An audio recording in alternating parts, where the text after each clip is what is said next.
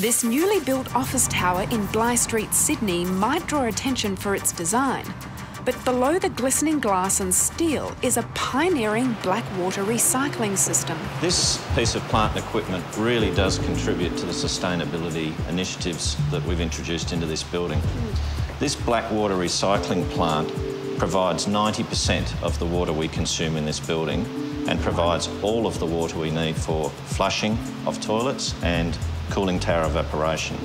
That can mean up to 100,000 litres a day, and that in uh, general terms can equate at peak load to an Olympic swimming pool of recycled water in just over two weeks. So that's a huge saving. You virtually have your own sewage plant in the bowels of the building.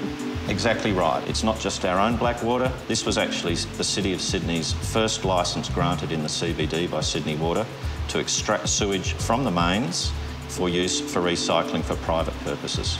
And you're also harvesting rainwater, aren't you? We are. We collect all of the rainwater that lands on the site.